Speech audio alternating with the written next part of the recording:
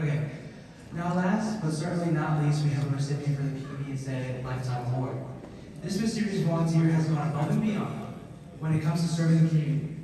You've probably guessed who this mysterious character is.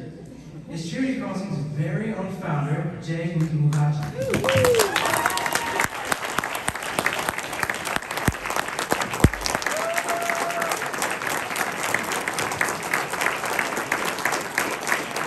I know that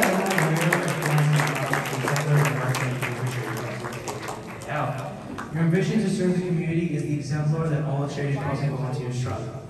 We not only respect you, but we honor you.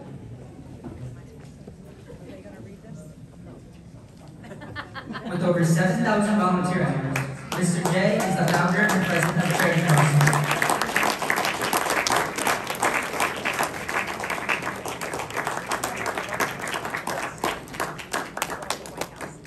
A volunteer-run nonprofit based in Delaware, USA. He is passionate about helping those in need, as well as organizing many Mother Nature-friendly initiatives.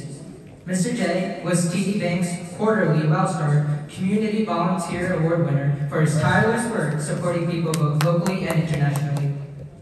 Mr. Jay thanks his mother for instilling the art of giving in him, and his family and friends for their support.